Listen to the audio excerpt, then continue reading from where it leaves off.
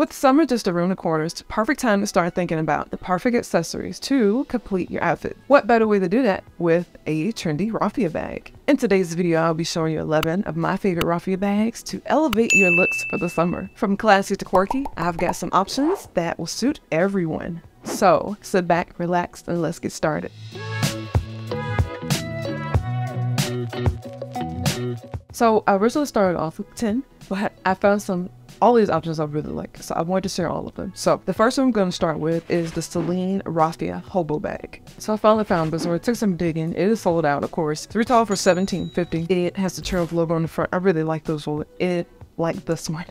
It has the trendy hobo style and it's raffia. So it's like you're wearing two different the different the two different trends in one.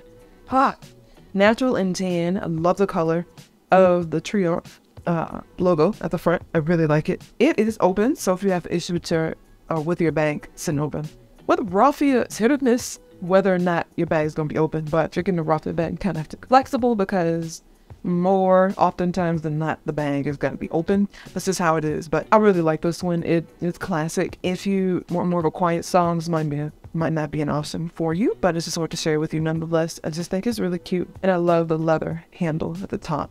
This one is super adorable, one of my favorites on the list. This one is from Prada. It's the wicker and leather mini bag, retails for $11.70. This one does have a closure over the top, as you see, it has a chain strap too. And this one is white and like a natural raffia with gold hardware. I think that's the perfect combination. And oh, just look at it, just look at it. It's like one of those clutch openings that has like the folds on the sides and then it folds shut. So this one does close all the way above the interior. It is kind of one of the smaller options on this list, but I just want to share it just in case you wanted something a little cute to, you know, follow along the trend but you didn't want to spend too much either. But yes, I do realize the 1170. In my opinion, that price point should be for the bigger bags. But hey, it's Prada. They do what they want, as well as other brands on the list. They do what they want, but it's still cute nonetheless. I do wish they had a bigger option though. But who knows how much they would they would charge for that one.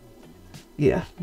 We already know it's to be high. We already know it's to be high. So the next option is from Dior. This is the Small Lady D-Joy bag and natural macrocannage raffia. This is probably my favorite on the list. I absolutely love this one. It's just something about that beige or off-white with the natural raffia with the gold hardware, which I really like. Oh gosh, everything about this. It's structured nicely. Top handles are slight concerning because is that like the but Chanel, like Louis Vuitton has on their handles, will this darken over time with the long strap and everything? Hmm, those are big questions for me, but I just love the detail of this one. It has your keychain, it has the chain strap, it has leather in the middle. This one is just so cute. Oh gosh, it's just so cute. But for 3800 that is high for raffia. It's high. But in my opinion, Dior is always overpriced, but I just have to share it because it's, it's like the best. I have an another option from Dior for you. This is the medium Dior Caro bag in natural microcanage raffia. So the exact same color, just a different style. This is also cute. It is just in the Caro style. So if you prefer the Caro over the Lady de here you go. Wide opening, zippered pocket, flap closure. It has a chain and leather mixtured strap, which is nice. So you can wear it crossbody however you want. The back says 30 Montaigne. Is that a three? Yeah, it has to be, I guess. But, yeah. I like it. Alright, this is another one I quite love. Oh, I've been loving some bottle bags lately. I don't know what it is. This is the 1945 Soft Mini Monogram Canvas Shoulder Bag. Retails for $13.50. But just look. Just look at the chain strap. It has like a mix of silver and gold. I love that. I love that. I love that. Sign me up. I love the pattern on the bag. Y'all know I'm all about my logo. I'm not a quiet girl, okay? Nothing has changed. Even though it was trending, nothing has changed. I love the gold, the hardware against it. It kind of gives me classic flat 19 vibes, sort of. I know I'm supposed to slap you off, but hey. Has a large interior opening as well. This one is adorable. And this one, unlike the others, I feel like you can dress up more. It's a lot easier to dress up more because of, you know, the style of the bag is not just straw, you know? I really like this one. This one is not really raffia, but it kind of has those vibes with the colors and everything, so I just thought I would include it on the list. This one is from Loewe. It's the Loewe Paula Ibiza balloon ruffled raffia shoulder bag. Not typically a bucket bag or tote girl. This one is cute. I just love the ruffles on it. I love the strap. I love the detail of it. It is wide open. Unlike the Prada version I shared with you, I think it was this video. No, it was another video I filmed. Oops.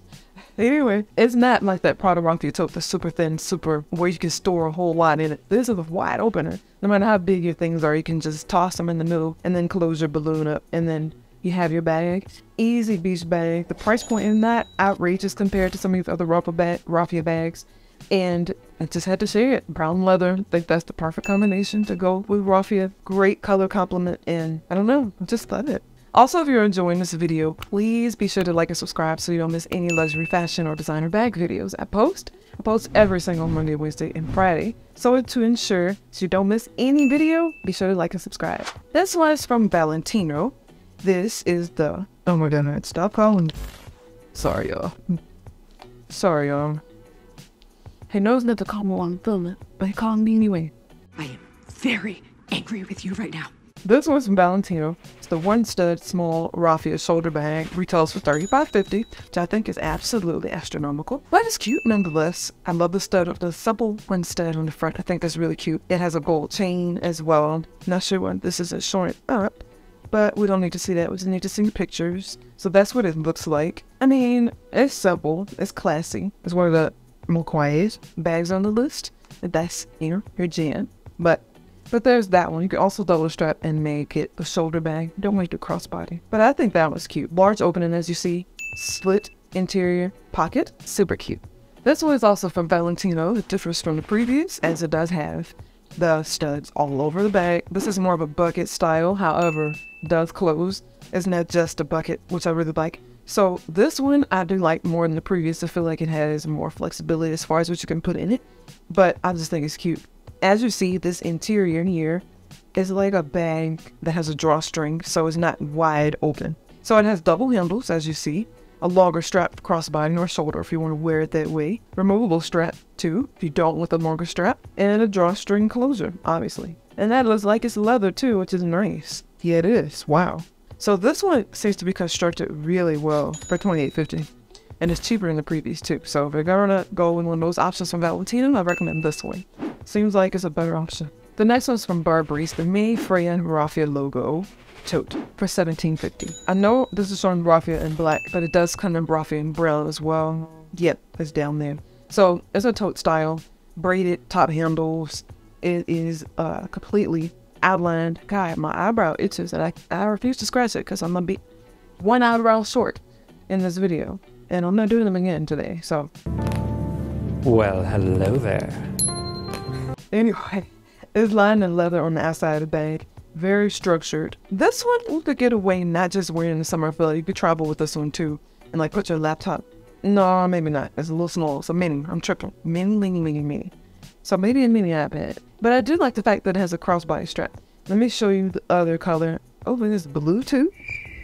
I don't think I like that one. That one look kind of crazy. But let me show you, there's another option. This one from Neiman Marcus. I think that one's cute. The brown, the off-white, and the raffia. Great color combination, so. The next one's from Jimmy Choo's, the Bon Bon Medium Bucket Bag for $20.95. It's actually $21.95. So, this one is adorable. It's quiet as well. It is similar to the Valentino one I shared with you that has a drawstring. However, it doesn't have like an interior bag you know, strictly a raffia and has a drawstring. It has a top handle. This one is really cute. It does also, it does also have a longer strap, shoulder strap or crossbody if you wear it that way. This one has quite a large capacity. You can store a lot in the middle, and it has a zippered interior pocket, which is always nice. So I really like this one. It has beads on it too, so a little bit of detailing, and it's still a great price point. And your logo is this small little square right there, but on the other side there's none. So if you still don't want to show the logo, there you go. Next for follow up, we have the Cassandra Mini Raffia shoulder bag. So exactly like the Cassandra, except I don't know why I can't talk. It's exactly like the Cassandra, except it's a longer strap, has a top handle, and it's basically it. Raffia in the middle, which I really like. Also has brown, I told y'all, brown, gold, and raffia. I like the perfect combo. Not just brown, but off-white and beige too. I think that combo is really nice too. So I don't know why I showed the black one. That is not the same color scheme. I need to see a model wearing this one. But anyway, no back pocket. It has an interior divider if it's like the other Cassandra. They're not showing, but it's there because look. Look at that right there. That little line right there. That's a divider. But you're not telling people that. That's so damn shady. Why are you lying to people? It's still cute nonetheless. Just need to share it with people. The next one is from a brand I don't talk about on here. No reason why. I just have never liked anything from them except I found this one. Now, this is similar to Raffia. It's more of a crocheted vibe though, so crocheted, crocheted, crocheted, crocheted. It has to be crocheted. Oh, it has Raffia in there, so it counts. Okay. This one is from Proenza Schouler. I hope I'm pronouncing the name right.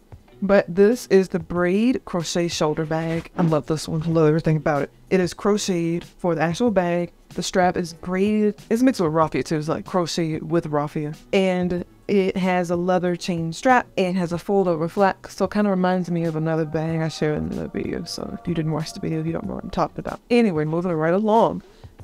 Over front, no back pockets or anything. Large interior opening this one is quite quiet too. You don't know what it is. I like this one and it's unique. So it's on the list. This one is from Jacquemus. This one is the Le Petit Filet Poilu fishnet bucket bag. This also isn't really raffia, but it has similar vibe being, you know, with the type of nature it is, I guess. But it has a bag in the middle. This isn't necessarily one of my favorites on the list, but I feel like Jacquemus always tries to support take in trends, and they usually do quite a a great job at it. So I know a lot of you probably like this bag. I just don't really. It's not really my style, but that's why I wanted to share it. This is what it looks like. That looks like some sort of linen bag material and has magnetic closure if you see the little magnets here.